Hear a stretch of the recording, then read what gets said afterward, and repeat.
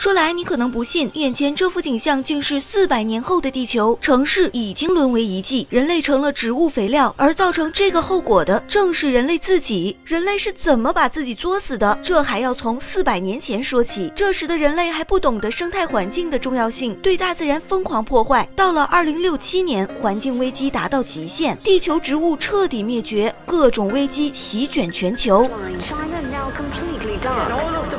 末日危机之下，全球人口大幅下降，剩下的人类集中在仅存的末日城，每天戴着呼吸面罩，依靠人造氧气过活。名为“呼吸”的制氧公司垄断了氧气生产，由于产量有限，氧气被分为不同等级，没钱的打工人只能买到低级氧气，纷纷患上缺氧症。无药可治的重病者只能选择自焚抗议。伊森是呼吸公司的一名职员，他每天打双份工，只为多挣一点，给老婆换高级氧气面罩。然而换了面罩也不好使，老婆身患缺氧症太久，撑不了多久，可能就会嗝屁。就在伊森绝望之时，呼吸公司大老板肥姐却将他叫到总部，还说他是拯救人类的天选之子，通过伊森他爸留下的时光机，去未来找到恢复氧气的办法。这个任务非伊森莫属。伊森一听懵逼了，为什么会是他？肥。肥姐指了指时光机上的显示屏，那是一条来自四百年后的信息，上面写着把伊森送过来，重大使命让人兴奋。然而救世主并不好当，公司能源只够传送一次，伊森要是去了，可能就是有去无回。听到这里，伊森怂了，他只想每天老婆孩子热炕头，不想当什么救世主。然而老婆却不这么想，伊森要是不去，他的病就没得治。于是，一番 PUA 让伊森走上了不归路。伊森回到实验室，穿上防护服。背上飞行器，带着 AI 助手小爱同学进入了时光机之中。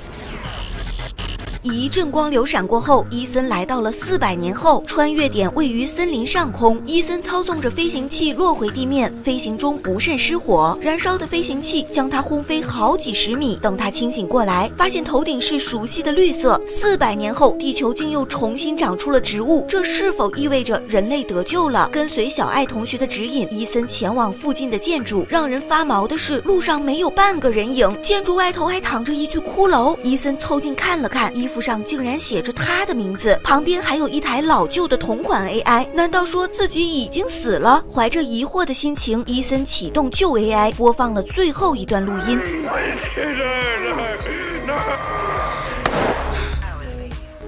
从录音信息来看，他似乎是在争吵中被人一枪爆头。这些线索千头万绪，伊森一时也想不明白。还没等他找到答案，肚子就先饿了起来，于是只好开启荒野求生模式，吃起了森林野果。让他没想到的是，这些野果含有剧毒。眼看伊森就要凉凉，天上却划过一道黄光，一个神秘人从那里过来，给他注入了一剂猛药。等他苏醒时，才发现昨晚的 UFO 竟然是好兄弟枪哥。枪哥是伊。森的铁杆兄弟也是他半个爸。小时候，亲爸为了制造时光机，扔下了伊森母子。后来，母亲在街头遭人袭击，伊森也差点死去，是枪哥将他救下，并将他抚养长大。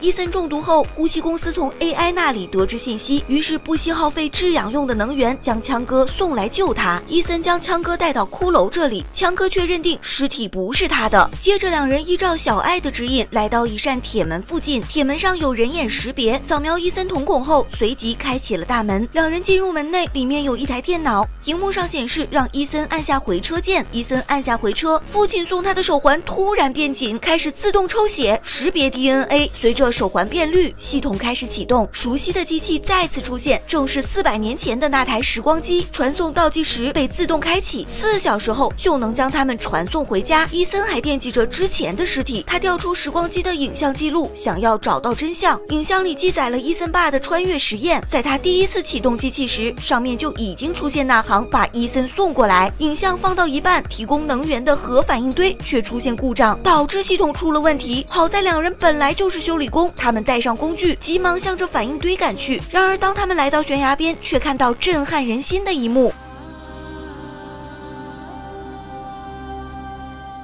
四百年后，末日城已经沦为遗迹，高楼大厦倾塌破损，墙壁上长满植物，这里没有活人，有的只是累累白骨。人类终究还是亡了吗？更让伊森揪心的是，他找到了亡妻的尸体。枪哥上前安慰他，说出的话听着却很耳熟，竟然是旧 AI 里保存的录音。看见枪哥掏出手枪，伊森瞬间懵逼，难道杀死自己的人是枪哥？没时间再解释了，再不修理反应堆，时光机就会报废。枪哥带伊森来到机房内部，电路已经全部烧坏，必须要有一人留下手动操纵遥控杆。伊森选择牺牲自己，留在了没有氧气的机房，眼看就要窒息而亡，枪哥却打碎玻璃将他救了出去。两人回到时光机那边，时间只剩三十七分钟。伊森本以为自己已经改变历史，然而当他来到门外，骷髅却依然躺在那里，这说明前头等着他的还是死。伊森不想坐以待毙，与其被枪哥爆头，不如先下手为强。他将枪哥关进房间，接着开启了尘封的影像。伊森爸造出时光机后，与肥姐发生了矛盾。伊森爸想找到办法拯救全人类，肥姐却想着自己开溜，跑去四百年后苟活。伊森爸早已察觉肥姐阴谋，他给时光机设下密码锁，只有伊森的 DNA 才能解开。肥姐恼羞成怒，一枪干掉了伊森爸，接着又派出手下去暗杀伊森妈，以便控制伊森。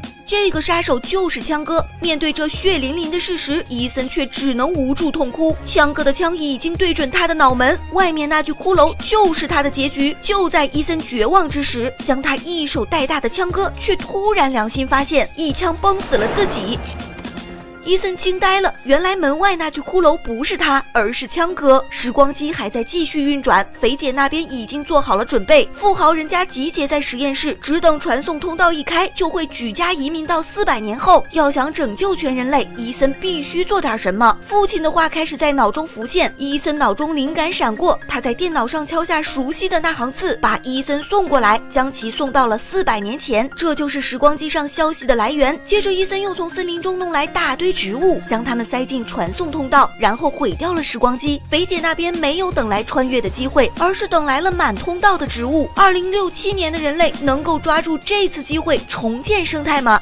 伊森独自留在了四百年后，他走出门外，树上竟然出现蝴蝶的身影。伊森兴奋地跑到悬崖边，果然看见了崭新的城市，建筑和植物共生在一起，成了一座生态乐园。看来是二零六七年的人类利用伊森送来的植物，最终拯救了自己。看完这部《二零六七》，剑娘不禁陷入了沉思。虽然这个套娃故事有着很多逻辑上的硬伤，但是并不妨碍它的警示作用。如若我们不学会善待环境，人类的未来很可能就是电影中那样。我们常说地球是咱们的妈妈，对待咱妈难道不该好一点吗？好了，今天的节目就到这里，这里是科幻战舰，喜欢解说的小伙伴可以点一波关注，我们下期再见。